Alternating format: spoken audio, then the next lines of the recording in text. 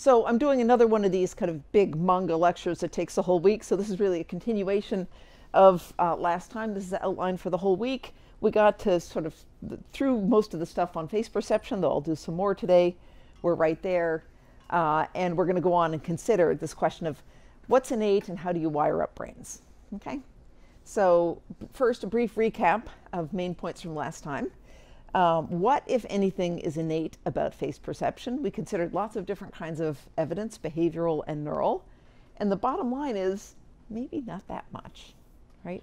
So there's a few things that are sort of suggestive, like newborns have this bias to look at faces more than other non-face stimuli that are pretty similar, schematic faces versus scrambled schematic faces.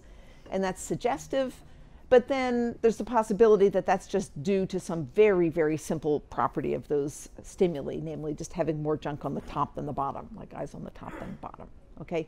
So what would have to be innate in that case would be just the simplest possible template, not even a whole face. Similarly, we showed that there's actually very good discrimination of one face from another, even across viewpoint changes in newborn humans uh, and also in monkeys that were raised without ever uh, being allowed to see faces. Um, and both of those things suggest innate abilities uh, to process faces, but in both cases, it's possible to argue that that ability isn't due to face mechanisms in particular, it's due to just general vision and shape perception. Okay. Um, Third, I showed you beautiful recent data showing that the face patches in monkeys uh, don't develop if monkeys are reared without ever seeing faces. Okay? Uh, which also suggests that maybe not that much is innate. So all that is fine, but then there's a big wide open question that's left unanswered by all of that, which is how do the face areas know uh, to land right there in everybody robustly? that really feels like something has to be innate, okay, about the brain at least, to, to say where those things should go. Okay, so one possibility that I'm sort of skipping over because it's a whole little universe and there isn't an answer yet. People are working on it right now. People in this building are working on it right now. But the gist of the idea um, is that um, is that there may be maybe what's innate is some other kind of simpler selectivity, maybe like selectivity for curved things Remember how I talked about as you go up the visual system, you start with selectivity for spots of light and then edges. Well, maybe up there you're born with selectivity for curved things or something like that, that is face-like enough that somehow that leads face selectivity to land there later. It's kind of vague because nobody really knows, but that's, it. that's an idea.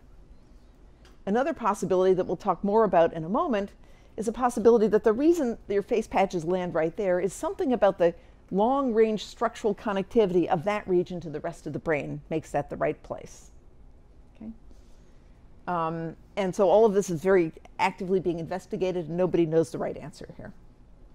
Further, I just want to mention um, that deep net modeling has just very suddenly in the last year become a very powerful way to approach these same questions from a different angle. So um, with deep nets, you can ask, what do you need to build into a network to get it to produce face patches.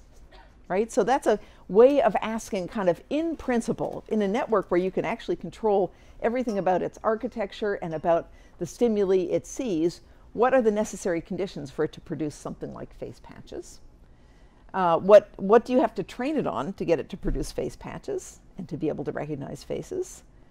And at the top level, why computationally does it make sense to have face patches in the first place? This is kind of the biggest question lurking in the background of this whole field. I'm describing all of these specialized mechanisms in mind and brain, but really, wouldn't it be nice to know why our minds and brains are organized that way rather than just that they are? And that's a really hard question, and I think there's a real hope now that um, computational modeling may get us toward an answer sometime in the next decade maybe, maybe even the next few years. Okay, so that's overview.